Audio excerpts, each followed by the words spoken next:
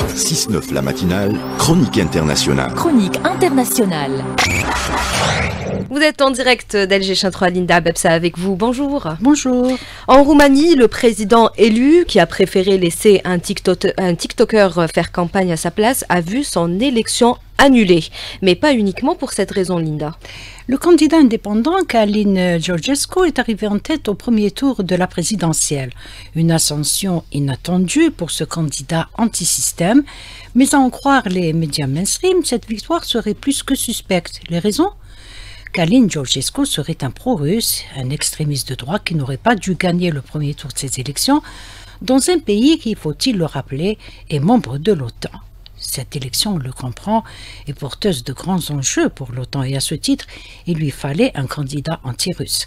Ce que l'on sait de Kalin Georgescu, c'est qu'il n'a pas fait de campagne électorale traditionnelle. Pas de meeting, mais des prises de parole ici et là, dans les écoles, les églises, les marchés ou encore dans les places publiques des villes et des villages roumains. Kalin Georgescu, ingénieur agronome de son État, est très porté sur l'écologie. Il est d'ailleurs euh, euh, quelqu'un qui est connu pour avoir commencé sa carrière en occupant de très hautes fonctions, y compris à l'international, dans ce domaine.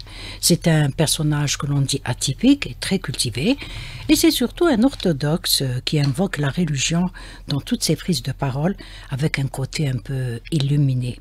Autre fait marquant et qui le distingue des candidats classiques au poste de la présidentielle, il a laissé un TikToker notoire faire campagne à sa place sur les réseaux sociaux, sur TikTok en particulier, où il compte 3 400 000 abonnés, un TikToker auquel se sont joints des dizaines d'autres tout aussi influents.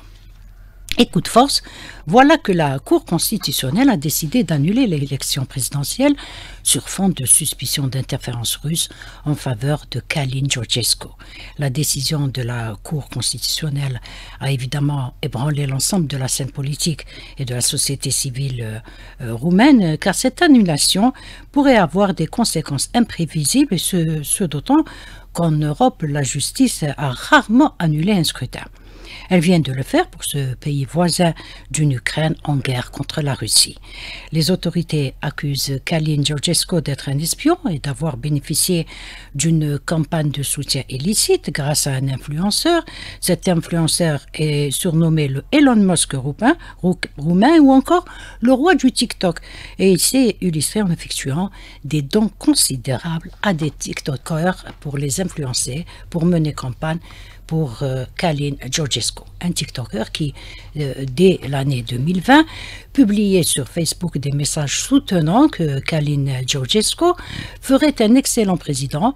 Euh, et d'ailleurs, il venait souvent en aide à ceux qui lançaient des appels de détresse ou encore ceux qui étaient en difficulté financière. Bref, cela a suffi pour que l'Union européenne et l'OTAN bloquent un président élu démocratiquement juste parce que ses idées sont contraires à leurs intérêts immédiats.